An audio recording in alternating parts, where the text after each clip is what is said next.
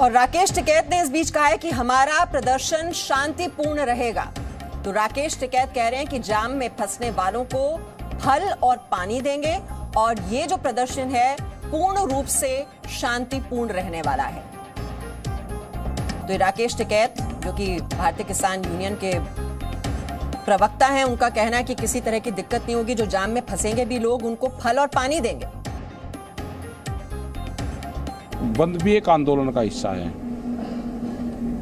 Political party बंद करती है, जब वो सत्ता से बाहर रहती है तो वो बंद का सहारा लेती है। उनको ये लगा होगा कि सरकारें ठीक नहीं कर रही तो भी समर्थन दे रही है।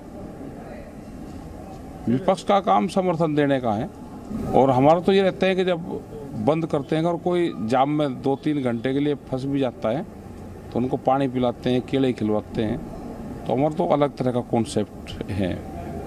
और हमारा पूर्ण रूप से पीसफुली रहेगा, शांतिपूर्ण रहेगा और पुलिस प्रशासन सहयोग देता है उसमें। सरकार जितनी बार बात करेगी, हम बात करेंगे। लेकिन पूरे देश के किसानों के कुछ मसले हैं।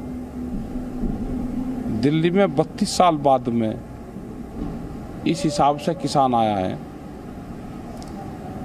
कि सरकार से हम बहुत अच्छे तरह से हम बात कर सकें।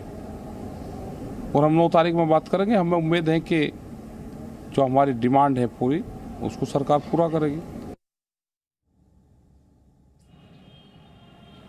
तो राकेश, टिकैत को आप सुन रहे थे, जो कह रहे हैं कि हमारा जो ये प्रदर्शन है, वो पूर्ण रूप से शांति पूर्वक रहने वाला है। जो जाम में लोग फंसेंगे, उन्हें फल और पानी देंगे, किसी तरह की कोई परेशानी नहीं होगी। हमारी मांगे हैं और संवाद जो है, बातचीत है, वो जारी है।